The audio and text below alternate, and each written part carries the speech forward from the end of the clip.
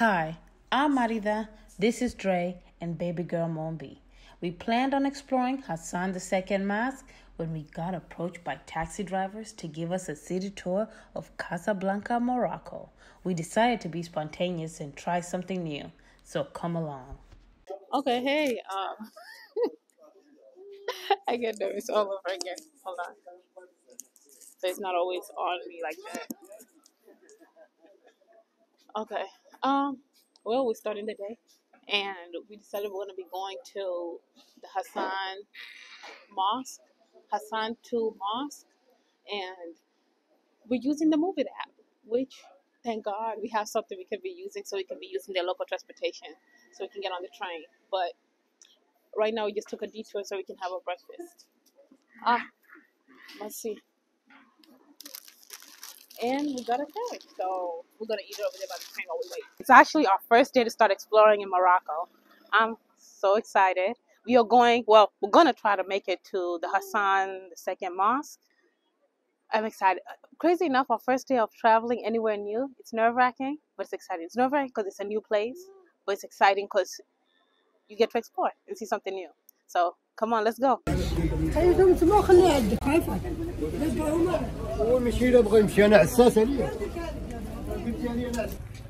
So anyway, guys, we was gonna catch a taxi or catch get on the bus to um get to the uh, what is it called again? Hassan Mosque. Hassan Mosque. So Hassan the second mosque. Hassan the second mosque. So yeah, we decided to go ahead and just walk through the town so we can actually, you know, see up close and personal with everything today. So um yeah, you guys come along with us.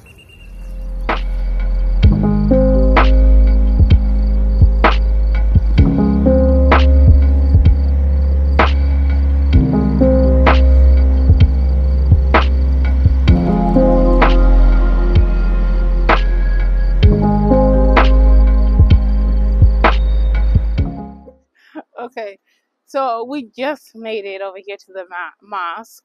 We're just trying to find our way inside. But when I looked it up online, pretty much the president at the time, he felt like he wanted something grand in Casablanca. So he was like, oh, well, let's build a mosque. And he ended up building the mosque. They got the mosque. They started the construction for the mosque. Then all of a sudden they were like, um, they were hoping for it to finish building it in 1989, but which was Dre's year of his birthday. But instead, they finished building it on my year of my birthday, which is 1993. So look at this beautiful grand mosque, and actually, this is considered the largest mosque in Africa, but I think the second largest in the world, from my understanding. I believe that's what it was, which is phenomenal. So we're about to go find our way inside so we can see how it looks.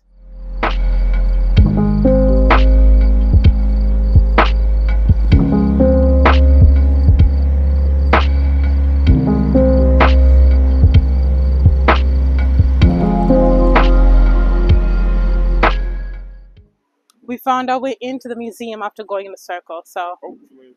hopefully so. So we ready to see. Here are their visiting hours and the prices. So you could go to the mosque and the museum for 140 dirham, which is 14 dollars $14 USD. So anyway, guys, um, we was gonna go to the museum, but um, the next tour is until three o'clock. We bumped into a tour guide, so he's actually gonna show us around for the day and take us to a few places. So um, so yeah, you guys come along with us and see uh, Casablanca. We ended up doing a tour last, a city tour just randomly. Yeah, so randomly. No, from uh, my boss. This is my boss. That's your boss? yeah. Oh, I was wondering who was who's who was who. speak good. Yeah, but you're speaking pretty good too, though. Yeah, so it's all good. So you know a good place where food at? Yeah, in Morocco. Uh huh. I want to eat good. I don't want pizza. Pizza, No. no. tagine, Yeah. Yes, I want couscous. something good. Yeah. Yeah, good. Okay. Pizza Morocco, it's tagine. This is the Rick's Coffee. Rick's Cafe there. Italian, it's Guess, guess we got a passenger now, guys. So this is this is the old Medina. Oh, oh Medina. This is the premium apartment in Casablanca. Gotcha. one. This one. Oh, the old Medina? Yeah. Okay, we made what's the name of this place? We had a restaurant and it's called the Home of Tradition Moroccan Food. Talk about tradition, traditional. But it, it trust me, we would have never found this spot. It's like a, it felt like a hole in the wall, mm-hmm. pretty much, mm-hmm. because it was pretty ducked off. We like you would have never noticed it. But let's see.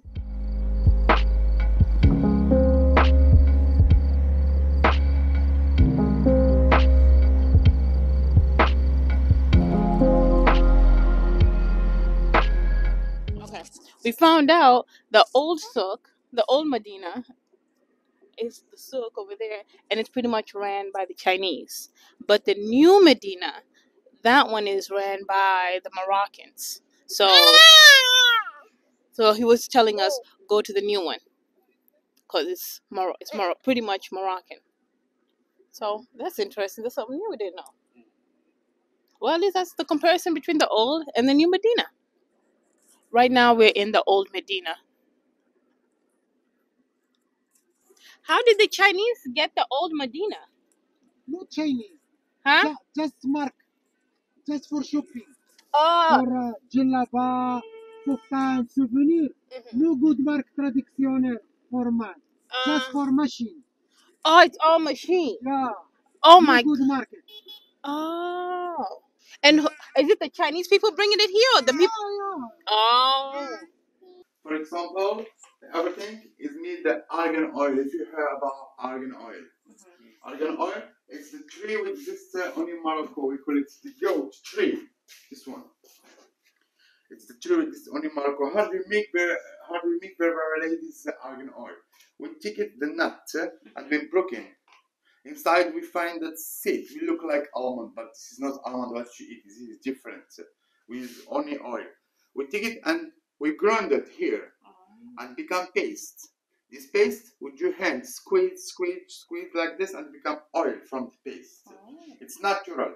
Uh, the 16, 60 kilos to give only 3 kilos the almond. how many?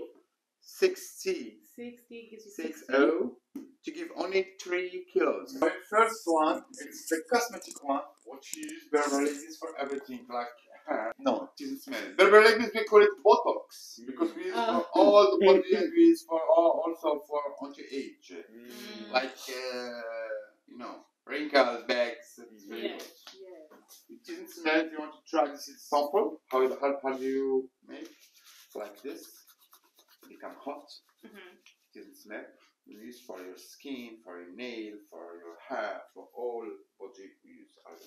Do you want to try it? No? Do you want to try it, Lenny? For your mm. age? No?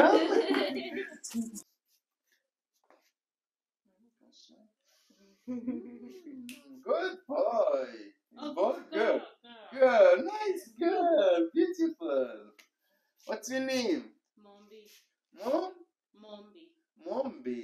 You are welcome, Casablanca, Mombi. uh, T for lose weight, for slimming. If somebody wants to I lose know weight. because I like this one right here. I don't know which one this one is, but I want to look like that. This one. Yeah, I want to look strong. like that. This to give your muscle. Mm, Yeah, your muscle, like uh, to burn fat. yeah.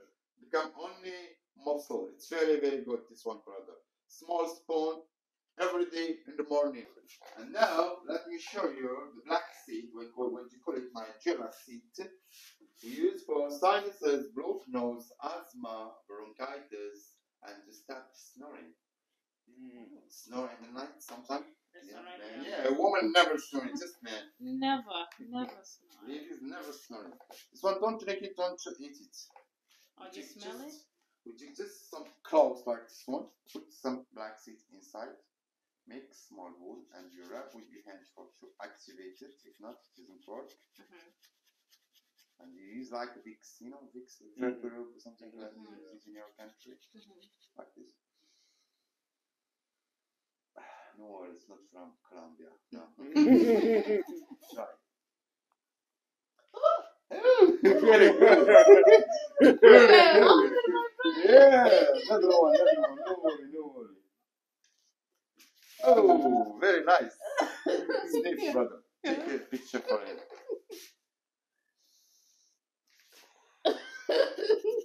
This is not Colombia one. Try strong. Oh. I know. With this we make Vicks vapor with natural Vicks. so Also babies can use when you have cold, when you So have cold. cold, okay. Baby is so old. Okay, this is where the rich folks stay at. Look at these. And then he said, "There's rich people here," and then if we go forward, even more richer people. Oh, these some beautiful homes. hmm And they're doing so much construction. Oh, wow, those houses are beautiful. there. I know it's the way it's built so differently. I Each know, one. Love the designs of. Okay, we're right here in the Moroccan coast. This is the Atlantic Ocean. So, oh my goodness, we found out this used to be a military base, but now the current king, King Six, um, he's pretty much wants to just deck out this whole coastline into just beautiful attractions. Like, but I understand, like, this really can become so beautiful whenever they really deck it up.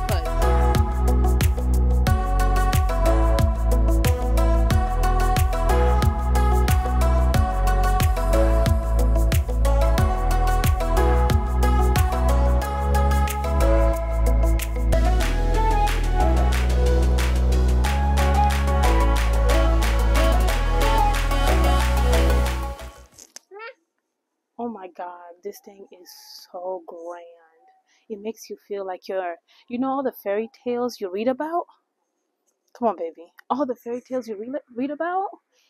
Coming inside this ma- mosque makes you feel like fairy tales are real. I mean, it took some lot of time Detail. to do this. All the detail. The way this looks inside, I feel like everybody should experience this. a mosque in Morocco that will be your direction to east. This is it. I can't get over how much of a lovely day it's been. Yes, it's been very lovely. Even though we didn't even really plan to like get a get a guide or whatever Yeah, today, the, the, it's just one of them things. It just, it just happened and we agreed to it. yeah, We, so we ended up paying like 300 dollars for it though. yeah, for him to show us around and everything. So I mean, it, a little bit on the high side for the ride, but it was a little bit worth it for us. You know, considering we had the baby and we didn't really want to do too much walking today. Yeah, we just said why not. Sometimes we say no and sometimes we say okay. So Yeah, today was the day we felt like saying okay. yeah, And all we can say is we had a lovely time. We got to hmm see a whole a lot of Casablanca yes, and we feeling like we've enjoyed completely everything that we've seen. Yeah, so we're gonna go ahead and Find our way back home and enjoy the rest of the time.